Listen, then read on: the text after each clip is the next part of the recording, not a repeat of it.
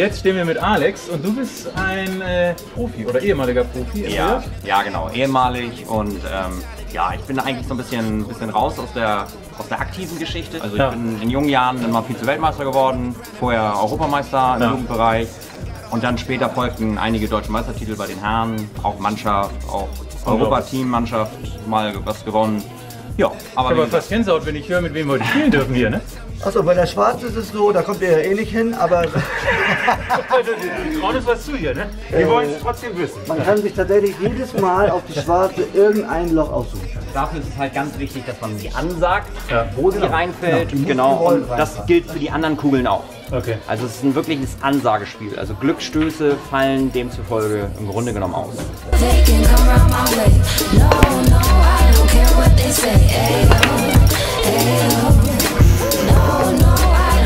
Alex, wo genau zielst du dann hin? Schießt du dann hier vorne frontal genau drauf? Ja, Oder? genau. Also immer im, im, immer im Verhältnis zu meiner Position der Weißen. Ja. Dann exakt in die Mitte, weil damit ist, wenn ich diesen Punkt dann treffe, gewährleistet, dass die Kugel dann, wenn sie zurückkommt, auf jeden Fall auf der geraden Linie bleibt und nicht zu weit links oder zu weit rechts dann Richtung Taschen geht. Die Weiße. Ach, man achte auf Perfekt. die Weiße. Besser, besser geht's nicht. Und, alles, und alles offen, kein nichts versteckt. Also das ist... Applaus. Alex, mach weiter. Ja, genau. Ah ja. Und sieht natürlich auch super leicht aus, ne? Äh, wie viele Züge denkst du denn jetzt voraus, Alex? Ah, Ich habe schon alle äh, Du hast schon alle durch. Ich habe schon alle durch. Meine Weiße sollte eigentlich ein bisschen weiterlaufen. Ich wollte jetzt die 13 spielen, dann die 14, weil die ist schon, kurz vor der Tasche sozusagen. Dann würde ich die 11 spielen, weil die 12 liegt da auch schon vor der Tasche. Und von der 12 komme ich ganz einfach auf die 13. Und dann bin ich eigentlich schon bei der 8 und spiele den rein. ich lieg schon fertig. Ich habe dafür eine Spaßfrage gehalten, Ja, nee. aber. Aber dadurch, dass meine Weiße jetzt nicht genauso liegt, wie ich wollte, plane ich jetzt doch ein bisschen um. Hier sehe ich so eine kleine Schwierigkeit, dass ich so ein bisschen Angst habe, an der 15 hängen zu bleiben. Deswegen spiele ich jetzt die 14, dann die 11, dann die 12. Also, ich weiß nicht, ob ihr die Zahlen immer sofort seht. Ja. Und würde die beiden dann zum Schluss spielen. Das werde ich schon Ja. irgendwie hinbekommen.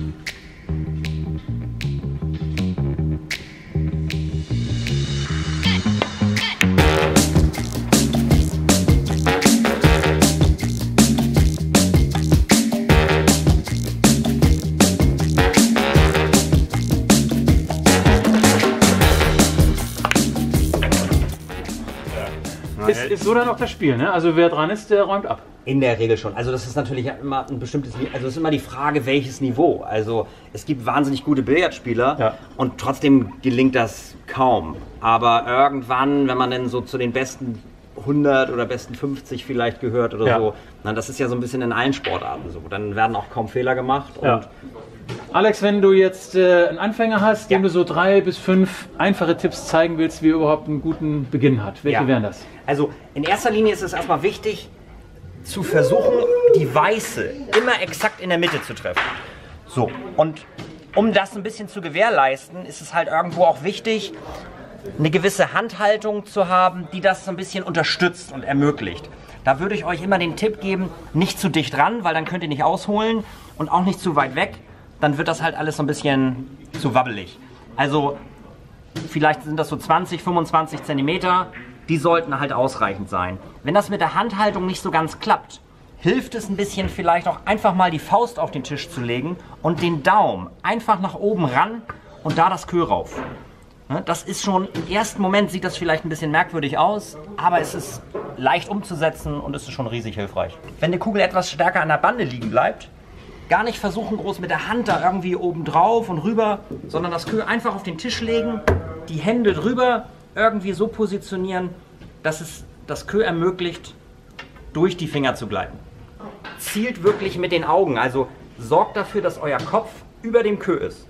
Ihr könnt euch das vorstellen wie beim Schießen, wenn Kimme und Korn auf einer Linie ist, aber das Auge nicht.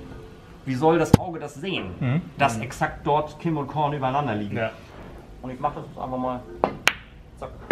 Und dann ist jetzt nicht das Lochen gesichert, aber es klappt öfter. Alex, du hattest uns vorher zwei Methoden gezeigt, wie man jetzt den Punkt findet, wo Ja. man ähm, die Kugel anspielen muss, damit sie in die richtige Richtung geht. Ja, exakt. Und zwar die eine Methode ist, dass man sich im Grunde genommen das Kö hier exakt vorstellt und demzufolge auch den Punkt sich anschaut auf der zu spielenden Kugel, damit sie in dieses Loch geht. Und diesen Punkt muss ich ja treffen, nur den muss ich ja treffen, indem die Weiße die Kugel anschneidet. Und hier kann man sich eine Kugel davor legen, die exakt in der Flucht zur Tasche liegt. Und wenn ich die einfach mal so da liegen lasse und ich kriege es jetzt hin, die drei, die, mich, die ich mir imaginär vorstelle, durch meine Weiße auszutauschen, zack, dann kann im Grunde genommen der Ball nur fallen. Vers versucht jetzt durch, dadurch, dass er jetzt tiefer spielt, die Weiße in Rückwärtsrotation zu bringen, wenn möglich sie genau hier stehen zu bleiben. Jetzt setze ich ihn ein bisschen unter Druck, weil das gar nicht so leicht ist, exakt, um vielleicht danach die 10 exakt in die Tasche zu spielen. Ah ja. Ah ja. Dann, jetzt wird Vers versuchen, die Rotation, die er gerade eben rückwärts erzeugt hat, vorwärts zu erzeugen. Er wird jetzt versuchen, den Ball sehr weit oben anzuspielen, vielleicht ein bisschen mehr Geschwindigkeit generieren, dass im Grunde genommen dann nach dem Kontakt die Weiße eine Vorwärtsrotation hat und dann wirklich noch gut gegen die Bande läuft. Ich glaube, er möchte jetzt ungefähr hier hin, um danach die 7 in die Mittel- Mitteltasche zu spielen.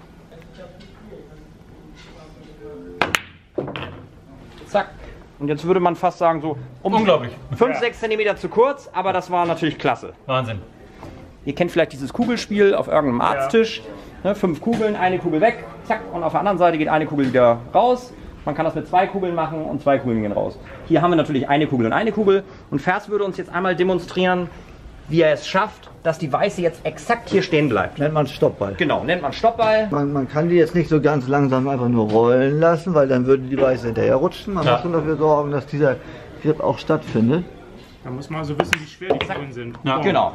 Was der Vers gerade gemacht hat, er hat nämlich einmal den Ball unterhalb gespielt, ungefähr da getroffen und dadurch würde ich Rückwärtsrotation erzeugen.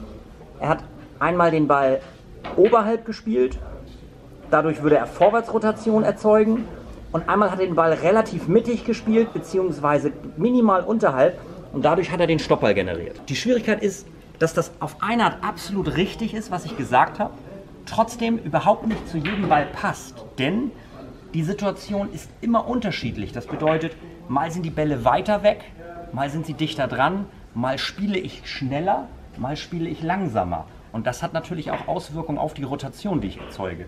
Ich spiele jetzt eigentlich eine Rückwärtsrotation, aber auf dem Weg dorthin wird sie in einen Rutschfaktor kommen und sie wird irgendwann vorwärts rollen.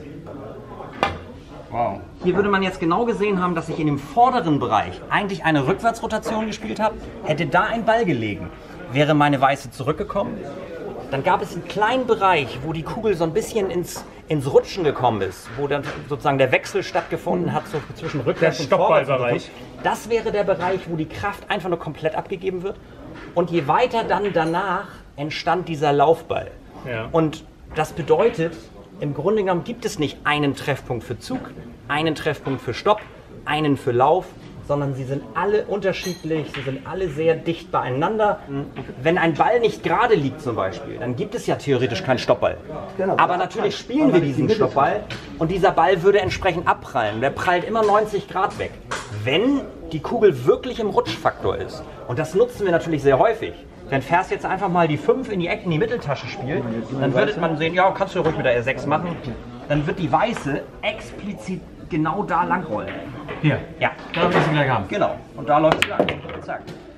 Lege ich den gleichen Ball, aber normal hin und spiele ihn anders. Also, er könnte jetzt. Mit weniger Tempo zum Beispiel. Ja, probier. Also, Dann prallt sie nicht mehr ab, dann kriege ich sie sogar noch vor deiner Hand an die Bande, obwohl ich sie reinmache. Ja, Tatsächlich, da ist sie. Genau. Hier wird einem definitiv niemals langweilig. Man kann, glaube ich, lebenslang lernen. Wirklich Respekt, Hut ab. Vielen Dank, dass ihr uns all diese schönen Sachen zeigen konntet. Gerne. Gerne. Also, wir werden uns jetzt noch mal ein paar Trickschüsse zeigen lassen, wenn wir schon Profis hier haben. Dann wollen wir mal sehen, was alles möglich ist.